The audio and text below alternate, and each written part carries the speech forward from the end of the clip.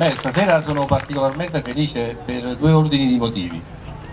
Il primo perché mezz'ora fa abbiamo inaugurato nel quartiere Sant'Anna un'opera pubblica di interesse eh, sociale eh, molto eh, rilevante.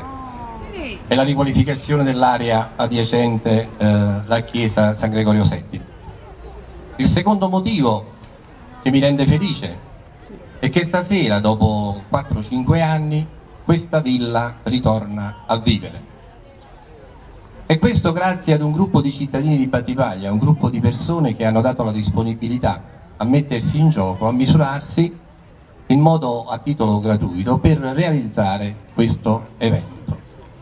E quindi un doveroso grazie al Presidente della Proloco, Fresolone, un grazie a Lorita Mastrolonardo che ha ideato, ha redatto il progetto, un grazie al direttore artistico Guglielmo Frangese, un grazie agli assessori Casillo e Viscito, un grazie al comando di polizia urbana, ai tecnici del comune, all'Albanova e a tutti coloro che hanno collaborato per realizzare questo evento. Ma un grazie particolare bisogna darlo alla, alle associazioni culturali che hanno dato la disponibilità e quindi si sono impegnati a realizzare questo evento.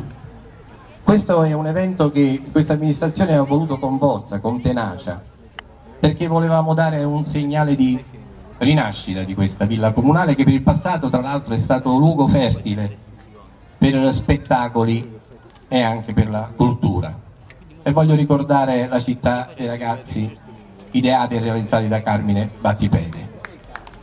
Noi vogliamo andare in quella direzione. L'abbiamo detto in campagna elettorale, noi vogliamo fare di Battipaglia una città, la città della cultura, vogliamo fare una città solidale, vogliamo fare di Battipaglia una città delle imprese. Ebbene, questo sistema culturale, ricco di eventi, che dovrebbe far recuperare un'identità e il senso di appartenenza al territorio, lo vogliamo realizzare con le capacità, con le professionalità, con le intelligenze di questa città come abbiamo fatto con questo evento. E questo è solo l'inizio, perché Battipaglia deve diventare un laboratorio culturale, ricreativo e produttivo.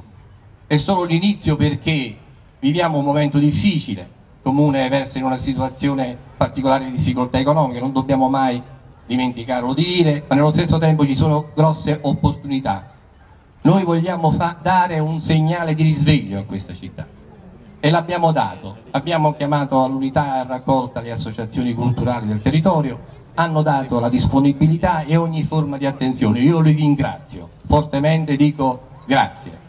Per il futuro potete contare sulla disponibilità dell'amministrazione, ma viviamo il presente con soddisfazione e guardiamo il futuro con ottimismo. Grazie di nuovo. E ai cittadini voglio augurare di cuore un'estate bella, meravigliosa, all'insegna dello svago, del divertimento, della cordialità e soprattutto della solidarietà. Sull'impegno dell'amministrazione potete sempre contare, ma vivete l'estate all'insegna dell'amore per Battipaglia. Grazie.